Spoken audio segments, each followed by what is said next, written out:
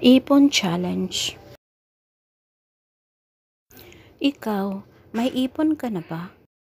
Ilang taon ka na ba sa abroad? Na-secured mo na ba ang pagtanda mo?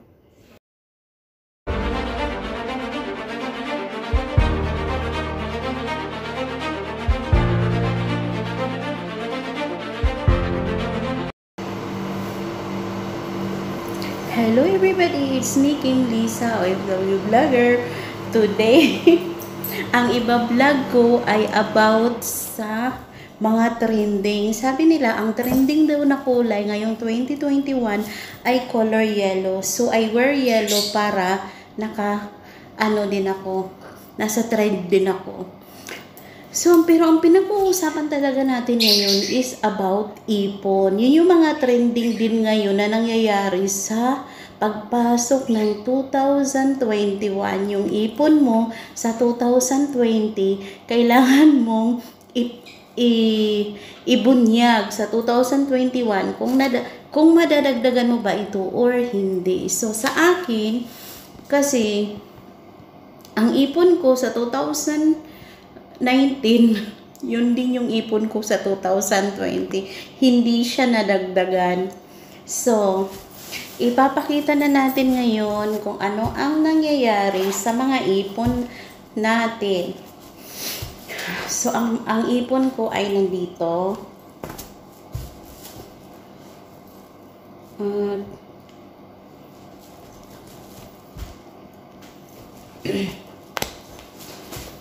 papakita natin pala. Nandito yung collection ko na banknotes. Papakita ko muna yung collection ko na banknotes. Ito yung dinar. Kasi nandito ako sa Kuwait, so dinar yung pera. So, mayroon akong 100 pesos. Mayroon akong 20 dollar. Bigay sa akin ito ng amo ko 2018. Nandito pa rin siya. At mayroon ako 1 real sa Qatar. This is from Qatar. Sa Qatar yan na banknotes. At mayroon ako 1 real sa Saudi naman to. Tapos ito naman yung sa Kuwait. Pero old banknotes na ito at hindi na siya sa in circulation. So ito na ang pinag-uusapan natin before anything else mag magkakalantaran na tayo sa mga ipon. Ipapakita muna natin kailangan mayroong ano mayroong trail. So, bago tayo magpapakita ng mga ipon natin, ipapakita ko muna yung mga binili ko para sa asawa at anak ko. Pareho sila. Binilhan ko sila ng wallet pareho. Pareho, the same yung design. So, titingnan natin kung anong laman. Hindi ko alam kung saan dito sa anak ko or saan dito yung sa asawa ko. Pero tingnan natin yung itong wallet na to. Ganda siya, oh. Meron siya lock dito. Tapos dalawa. Tapos saka. Tapos,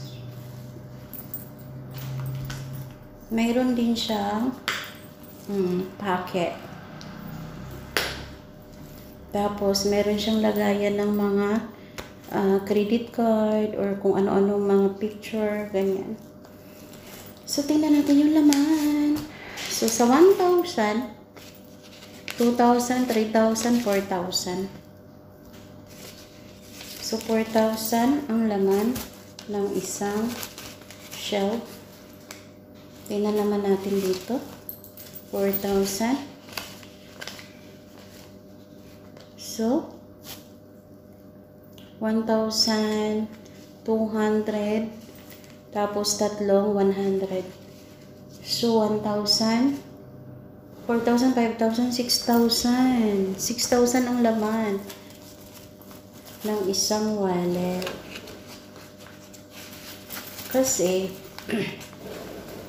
nasa isip ko, na pag uuwi ako sa Pilipinas, ito yung regalo ko sa kanila. So, kailangan yung wallet na binili ko, may laman dapat, di ba?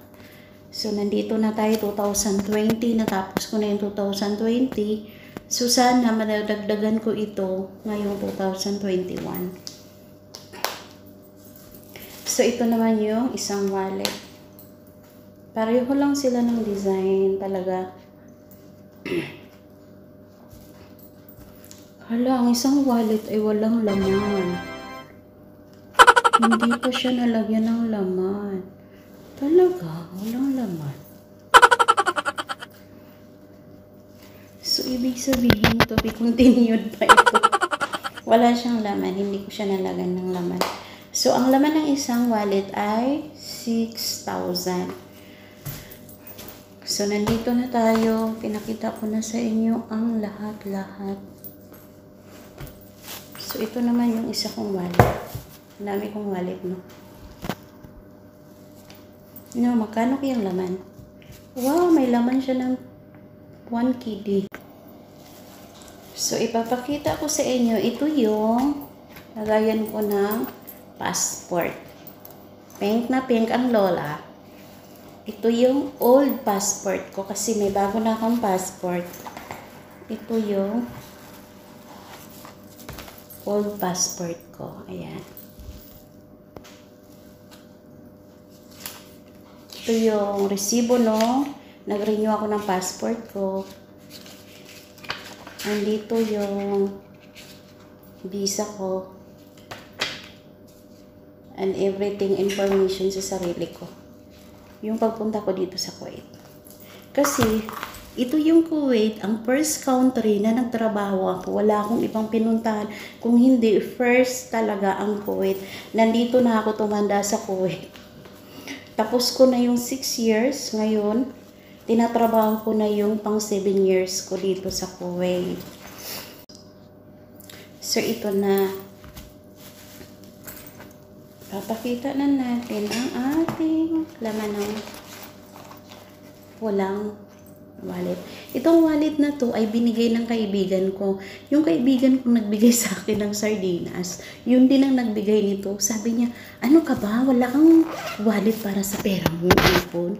Bibigyan kita, kaya yun, binigyan niya ako. Thank you. Yan, siya yung nagbigay sa akin. So, ito yung ipon ko sa 2019. 2019 ko na ipon ito. Sa 2020, hindi ko siya nadagdagan. Sa totoo lang. Walang dagdag ang ipon ko. Sana, hopefully ngayong 2020, barin ko na nga lang yung eyeglasses ko. I, ngayong 2020, madadag, 2021, madadagdagan ko na yung ipon ko. So, ito yung ipon ko. Ito yung ito lang ito lang naman ang ipon ko.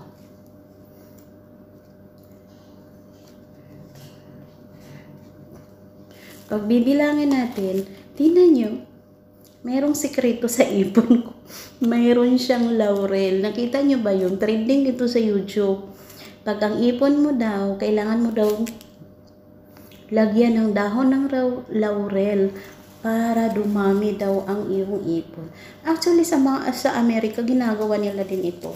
Hindi lang sa Pilipinas. So, alam nyo na yung sikreto ko. So, yung ipon ko is, ano siya, 50,000 lang naman. Hindi siya nadagdagan. 50,000 siya noong 2019. 50,000 siya ngayong 2020. Natapos na siya, di ba nakalipas na yung 2020. So, hoping ngayong 2021 ay madagdagan na siya. Kasi, yung panahon ng pandemic, dapat madagdagan ito. Pero hindi kasi ako nagpapalit ng pera. Dahil natakot ako na baka, ano nga, baka kailangan ko yung pera So, hindi ako nag, nagpapalit ng piso. So, dinagdag, hindi siya nadagdagan ang piso kong ipon. Iyan yung piso kong ipon. So, ano ba talaga ang pag-uusapan natin ngayon about sa ipon, about sa mga laman ng mga wallet or mga regalo? Ang Ang pinaka-main topic talaga natin ngayon is ang ano ba ang buhay ng isang OFW after ng matapos mo yung kontrata mo? Ano bang mayayari? For good ka na ba sa Pilipinas? Ano bang gagawin mo? Ah, pag tumanda ka na, yung mga anak mo, lalaki na sila, mag-aasawa na sila. Ano bang ano ba ang mayroon ka? Ano ba yung sarili mong ipon sa, sa para sa sarili mo para secured ka na? Yung sinasabi nilang secured ka na. Parang wala, kahit nga wala kang pera ngayon pag uwi mo sa Pilipinas, ang pera kasi nauubos at nauubos. Kahit gaano pa yan karami, pwede mo yung gastusin sa loob lang ng isang linggo or dalawang araw or isang araw lang kayang-kayang gastusin ang maraming limpak na limpak na pera. Pero, ang ipon mo para sa sarili mo, na security para sa sarili mo ay ang paano? Paano mo ito gagawin? So, ang ginagawa ko, kahit dati hindi pa ako nag-asawa, isa pa akong dalaga at nag-aaral ako ng kolehiyo nung panahon na yun, 2004. 2004 ako, sa 2004 nag-aaral pa ako ng college. I taking Bachelor of Elementary Education, major in English sa uh, Cagayan Capital University sa Mindanao kasi Bisaya ako at taga Mindanao. So, dati na ako nag-ipon para sa sarili ko, para sa kinabukasan ko kasi hindi ko alam mag-aasawa ba ako, magkakaroon ba ako ng ano, or ano bang mangyayari sa future ko pagtanda ko. So, inisip ko yan dati pa kahit wala pa akong responsibilidad na malaki na nakaatang sa mga, sa shoulder ko, sa mga kamay ko. Inisip ko na yung uh, security para sa sarili ko. So, ang ginawa ko ay nag-apply ako sa SSE Social Security System sa Pilipinas. Kaya, it, uh, tayong mga OFW dapat sinisecure talaga natin ang mga sarili natin.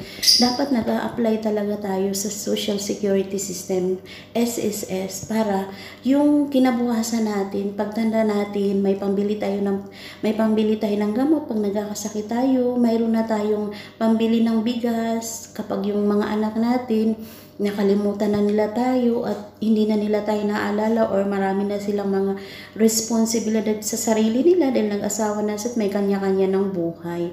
So, ang gagawin natin ay mayroon tayong pambili ng pagkain, pambili ng gamot, mayroon tayong maiahanda sa araw ng Pasko, sa araw ng ating kaarawan kasi may pira tayo, may pension tayo.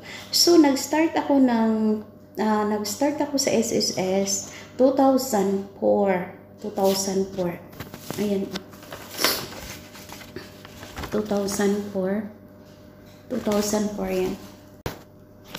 So, yung nag-abroad ako, uh, hinulugan nyo ng, is, ng, ano, yung hinulugan nyo ng, ng agency ko kasi requirement yun. Pero hindi ko naman alam na nahulugan siya talaga.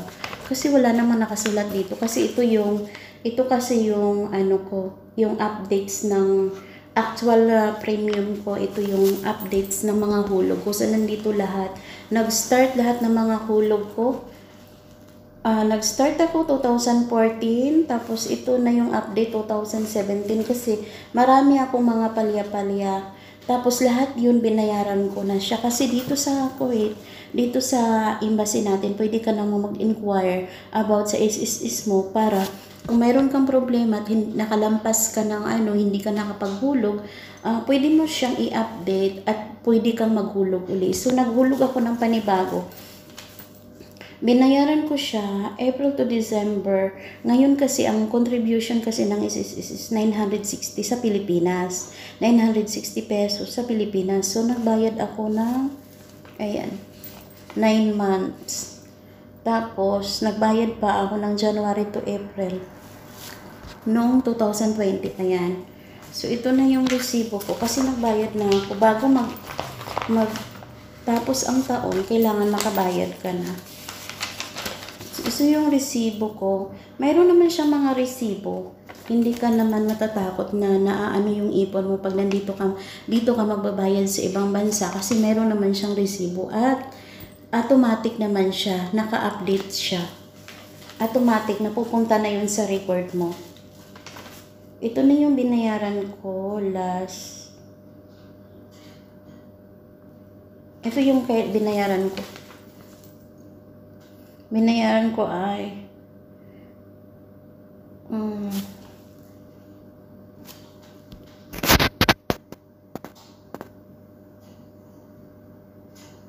binayaran ko ay 8 months. Binayaran ko ay 8 months. Tapos ito na yung ito na yung resibo ko nung nakaraang nagbayad ako ng ano nagbayad ako ng April to December. So ito na yung uh, resibo ko dati. Ito yung latest na resibo ko. So yun ang sinasabi ko sa inyo na tayong mga OFW, hindi natin kailangan ng, kasi yung pera nating ipon, yung mag-iipon tayo na mag-iipon dito sa dito sa ibang bansa. Oo, mag-iipon talaga tayo. Pero pagdating sa Pilipinas, mabilis lang yun maubos. So dapat iisipin natin yung sarili nating kapakanan, hindi lang kasi ito sinasabi ko sa inyo, para na rin tong investment mo sa sarili mo. Yung ipon na sinasabi nila, mag-iipon ka ng pera, mag-iipon ka ng pera, pero mauubos lang. Mauubos at mauubos lang. Pero pag nag-iipon ka ng pera para sa pensyon mo, hindi yun mauubos. Hindi mo yun mauubos at hindi mo yun. At saka, may mga benepisyo naman. Pag wala ka ng pera, pwede kang mag-loan So marami siyang mga benepisyo. So ang sasabihin ko na dapat gagawin ng isang OFW para mag-ipon para sa sarili ay mag-apply ng SSS, Social Security System, para ang ang kinabukasan mo ay secured na siya. So ako, dahil uh, dahil 2004 pa ako, mayroon na akong SSS, So, itong nag-update ako, before ako nag-update nung dati, isipin nyo yung dating hulog ko lang ay 282 pesos. 282 pesos lang nung 2004. Tapos, nagbago siya nung 2012. Nagbago yung contribution. Nung 2000, ah, nung 2011, nagbago na yung contribution ko, nagiging 312 na. Tapos, nung 2014, nagbago na rin nung after ng 312, nagiging 330 na. Tapos, ayun na nga, 2017, ang last kong bayad, last kong hulog, isipin mo 2017, 18, 19, nandito na ako niyan sa Pilipinas, ay nandito na yung, uh, kaya yung 2017, ang last kong hulog kasi yung taon na yan, 2018, after ng 2000, kasi nakapagbayad pa ako ng 2017 to December, nakapagbayad pa ako. So, pang 2018 ko ay hindi na ako nakapagbayad kasi yung asawa ko, yung pera kong contribution, pinapadala ko yun sa asawa ko. Tapos siya yung nagbabayad sa akin para sa SSS ko. Tapos yung 2018 kasi na-stroke siya.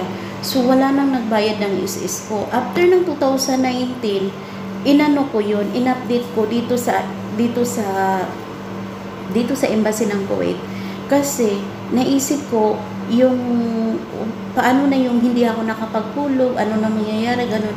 Parang nanghingi ako ng advice. Tapos sabi nila, pwede ka naman maghulog dito. Pero, ah, dahil naghulog ka sa Pilipinas nung hindi mo sinabi na isa kang OFW. So, ang contribution na na naihulog ng asawa ko is minimum lang siya na contribution. 333. So, nung So, yung nag-update ako, ang hulog ko na is 960. Yun yung minimum na contribution ng isang OFW. So, inaanyayahan ko lahat ng mga OFW na gustong mag-ipon para sa kinabukasan. Kinabukasan ng mga anak natin at kinabukasan natin kasi sa panahon ng kagipitan, pwede nating malapitan ng SSS kasi pag nagbayad ka, may minimum na contribution. Pag nakakapag-contribute ka na siya, Dati, nag, nag-inquire ako sa Pilipinas kasi gusto ko nga mag-loan. Uh, kailangan, mayroon ka ng hulog na 34 contribution yata. I'm not sure ngayon kung magkano na ang pwedeng mag pwede ka nang makapag-loan. So, marami siyang mga benepisyo na kahit wala kang pera, pwede ka makapag-loan at babayaran mo ito. So, marami naman siyang pwedeng Ah, unlike sa kung mag-ipon ka lang ng pera, pagkatapos mauubos lang at mauubos. While kung sa sarili mo na security, hindi yun mauubos at makukuha mo rin in time na kailangan mo na. So, pagdating ng 60, secured na kung mayroon na akong pension. Pagdating ng 60 ko, so mayroon na akong pambili ng gamot at pambili ng pagkain. So, yun lang ang sasabihin ko sa lahat ng mga OFW na dapat huwag natin pabayaan ang mga sarili natin, ang sarili natin kinabukasan.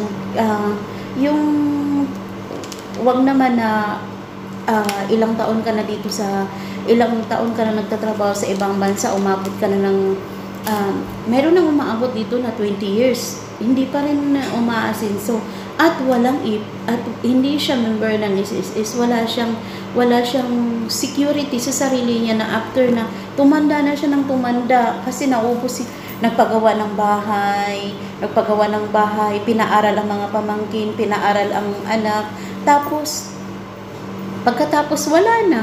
Walang nangyari. Kaya yun, abroad naman, balik na naman sa abroad. So, kailangan i-secure natin yung sarili natin. Mag, mag, mag-apply tayo sa SSS para uh, secured ang kinabukasan natin, pagtanda natin. So, yun lang po ang isi-share ko na pinag-uusapang trending na ipon, ipon, ipon. So, tayong mga OFW, mayroon talaga tayong ipon kasi yun ang gusto natin para sa sarili natin at para sa pamilya natin. Ba dahil tayo nag-abroad ay dahil sa ating pamilya. So, ito na yung ID ko sa SSS ko. Ito na yung ID ko. Uh, Uni ID. Kasi pwede siya lahat sa lahat pwede ka na magbayad sa lahat. Nagamit lang itong isang ID. So, sana mayroong uh, natututunan ang kapwa ko o OFW kasi ako ay ang ang pagbablog ko ay tungkol talaga sa isang OFW.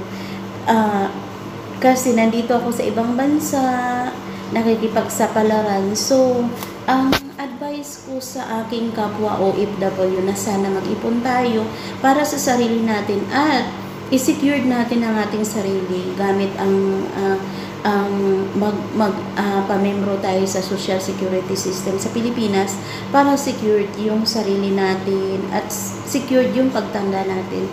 So, it's me, Kim Lisa, FW Vlogger. Thank you so much sa sa pakikinig sa akin kung ta maganda ba yung explanation ko or or hindi, basta sana naintindihan nyo. So, isasabihin ko lang pala sa inyo na ang contribution ko na pala ay dito, yung nag-update ako, ang contribution ko is 73 uh, contribution. So, dapat mayroon ka lang 110 contribution, isa ka ng pensioner. So, dahil hindi lang naman uh, 73 ang contribution ko na nagawa kasi in-update ko na siya at nabayaran ko na yung yung previous ko na bayad. So, 73 mga siguro ang ang contribution ko na ngayon ay na siguro 10 months na lang ay pwede ay isa na akong pensioner. Pero kahit na nakuha mo na yung contribution para sa isang uh, pensioner, pwede mo naman siyang i-continue yung contribution mo para pagdating ng pension mo ay malaki ang makukuha mo. Yun, yun yung sinasabi nila na uh, kahit tapos ka na sa contribution o 110 contribution, kasi yun lang naman talaga ang requirements para uh, pensioner na ang isang membro. So, kahit na abot mo na yung 110 contribution, pwede ka nang pwede ka pang maghulog ng maghulog kasi i-compute naman nila kung magkano yung pagdating ng pension mo, kung magkano yung naihuhulog na contribution mo. Uh, siguro ganun. So, pag malaki ang ipon mo, malaki din ang pension mo. Yo, di ba? Approve masyado. So, inaanyayahan ko lahat ng mga nag-iipon dyan. Sana, isi-secure natin ang sarili natin, mag-apply tayo sa SSS para tayo ay uh, mayroon talagang mapupuntahan ang mga ipon natin. So, thank you very much. It's me, Kim Lisa, FW Vlogger. Happy New Year and welcome 2021!